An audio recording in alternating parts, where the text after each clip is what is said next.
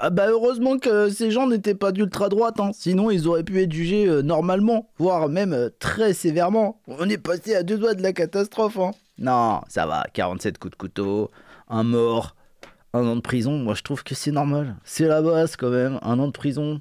Un mort, un an de prison. Un an, un mort. Bah eh ouais, pourquoi pas Bah eh oh, quand même. Alors les amis, on va regarder ce qui se passe. C'est incroyable, d'accord? C'est euh, la France. Je savais pas qu'on pouvait atteindre de tels niveaux de laxisme. J'ai beau avoir euh, connu Taubira, Dupont-Moretti, enfin tout, euh, Rachida Dati, etc. Je continue à être surpris. J'ai beau avoir la tête dans les news, le nez dans les news, comme ça, dans les faits divers tous les jours là et être absolument surpris par les euh, niveaux de laxisme et je m'en foutisme, enfin de gauchisme plutôt, atteint par euh, les juges français, je continue à être surpris. C'est ça qui est beau, c'est ça qui est bien avec la France. Si tu es là, tu oh, tu t'ennuies pas, tu vois, c'est pas comme dans un vieux couple. Oh, oh, oh, c'est bien, oh, t'as mis une nouvelle lisette, hum, c'est incroyable. De quoi, de quoi je parle Ça n'a aucun sens. Allez hop.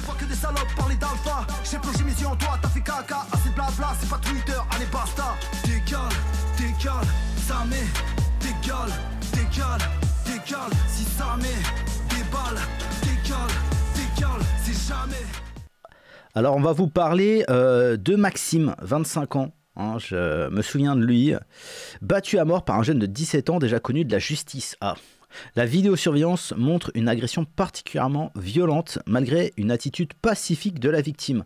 oh, mais ça va, moi je cherche pas d'embrouille, man. bah tu vas voir les embrouilles. Comment ça, tu me regardes? Bah ouais, tu me regardes. Euh, enfin, tu me parles, faut bien que je te regarde. Comment ça, tu me, comment ça, tu me tutoies?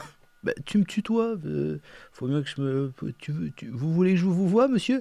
Comment ça, tu me, tu me vois Comment ça? C'est toujours un prétexte. Hein. Ok.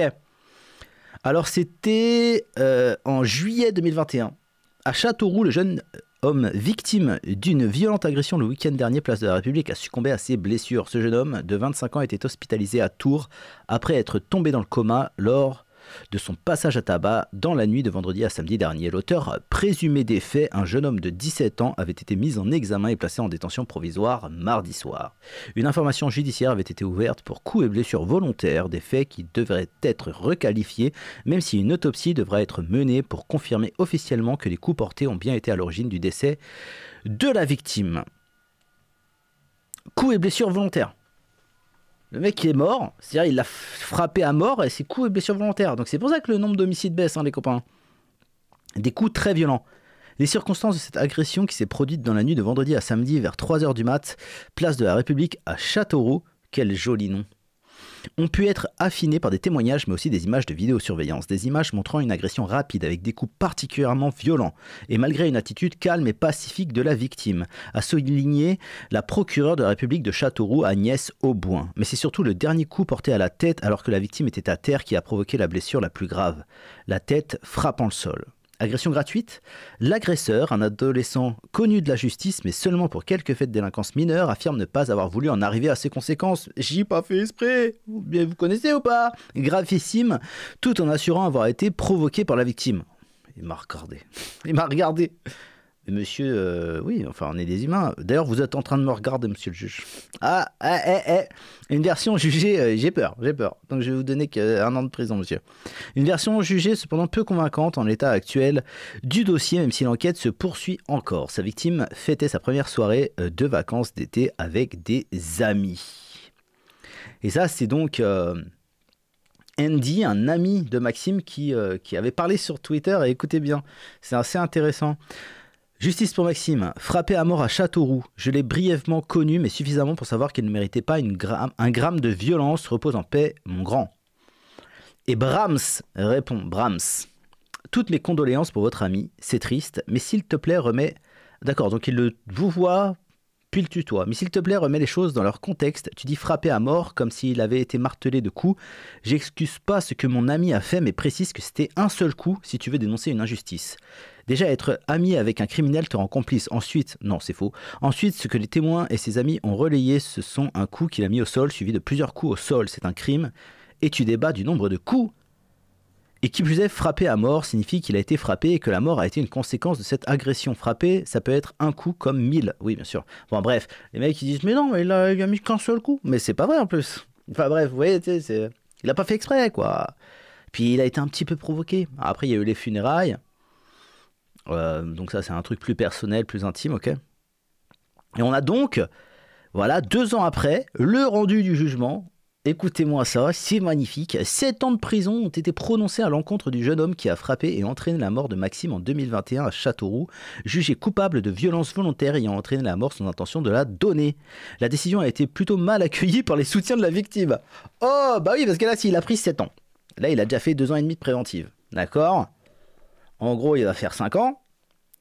Ça veut dire qu'il reste 2 ans et demi. Ça veut dire qu'en 2026, il est dehors. Ça va, franchement, ça va.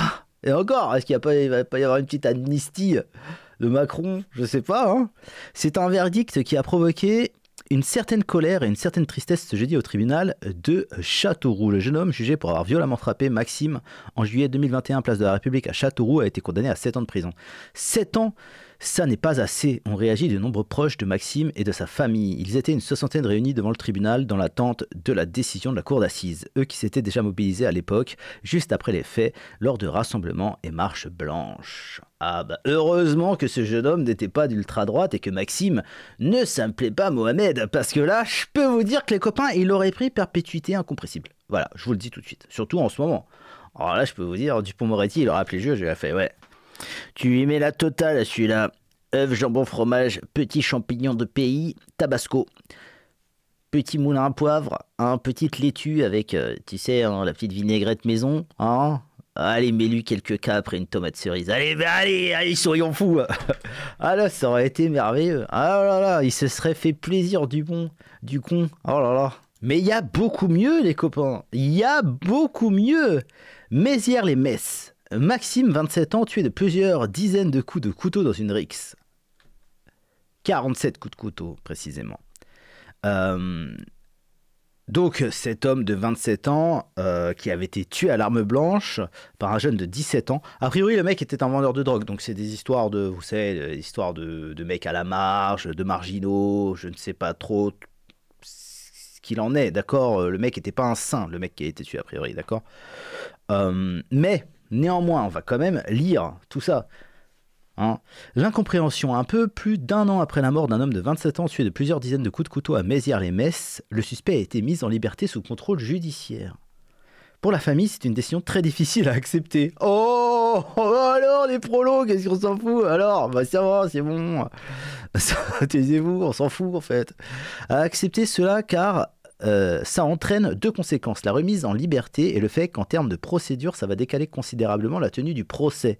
Souligne Maître Bernard. Les parents ont tenu le choc pendant euh, la procédure d'instruction et là, ils sont dévastés. Bah oui, un petit peu, ouais. Le suspect âgé de 17 ans au moment des faits avait été interpellé dès le lendemain. Il a été mis en examen pour meurtre et placé en détention provisoire le 10 octobre 2022. Une source au sein de la gendarmerie avait à l'époque dénombré 26 blessures par arme blanche. Le républicain Lorrain affirme de son côté que 43 coups de couteau ont été portés. Alors, pour mettre 40 coups de couteau dans quelqu'un, faut vraiment euh, être un petit peu déter, voilà, ou alors euh, avoir une âme de boucher charcutier, je ne sais pas. Mais là, je veux dire, faut avoir envie, hein. Que le mec il saigne, il est là, arrête, arrête, tu continues, tu vois. Euh, c'est assez compliqué, hein. d'accord. Donc un an de prison. Le mec a fait un an de préventive. Bon, a priori, il va quand même être jugé. Mais peut-être qu'il va avoir un stage d'aquaponie, du char à voile, caresser un hamster. Peut-être qu'on va l'envoyer en vacances en Syrie. On ne sait pas, les copains. On ne sait pas. Euh, moi, je, moi, je m'en fous, en fait. Maintenant, je m'en fous, je rigole. Voilà. Qu'est-ce que, vous allez faire? Vous allez rien faire du tout. Ça va les couilles. Faut prendre ça. C'est Clown World. Vous savez? Pépé. Vous connaissez Pépé? Pépé le clown. Pépé, je vais mettre un petit, euh, un petit nez de clown et je vais le mettre à côté de moi. Et quand ce sera trop euh, clownesque, quoi, j'appuierai sur son petit nez et ça ferait poète poète. Voilà. C'est ça qu'il faut faire, les copains, parce que sinon, on va devenir fou, en fait. D'accord? Et il faut pas devenir fou, parce que si tu deviens fou, après, tu vas sur des groupes Telegram et tu vas dans des euh, coins bizarres pour faire des, des, reconquistas de, quartiers, euh, de zones d'éducation prioritaire. Et ça finit très très mal. Ça finit très très mal. Avec ta maman qui pleure, toi au parloir, ta carrière un petit peu mise en mis entre parenthèses, et tout le reste. Hein. D'accord, les copains? Bon. Et, pour rester dans l'esprit de Noël et la, gaudriole et la blague, on va lire le tweet de euh, Romain Guérand, qui est un, copain, un pote, qui est écrivain. D'ailleurs, intéressez-vous à, son livre. Ou à ses livres, je sais pas où il en est, s'il a fait de nouveaux livres. Euh, astuce pour faire bouger le cul des flics en territoire perdu de la République. Ça fait 20 ans que dans mon hall d'immeuble, des jeunes en survêtement Lacoste vendent de la drogue et agressent tout le monde en toute impunité. Ce matin, j'ai appelé la police. Je leur ai dit qu'il y avait une manifestation d'extrême droite dans ma cage d'escalier. Ils sont intervenus immédiatement. Bah voilà les gars, vous avez la euh, solution. Si vous avez des gens qui squattent, qui font du bruit, des rodéos à 4h du mat, qui agressent votre vieille mémé, etc., vous dites qu'il y a les fascistes hein, qui, disent Vive la Marine Le Pen avec des drapeaux français. Les copains, je peux vous dire que le GIGN arrive dans les 5 minutes. Voilà, on est bien ou pas? Allez. Bon, allez, je vous fais des bisous, des poutous. Vive le laxisme, vive la France. Hein? De toute façon, ils peuvent rien faire. Hein.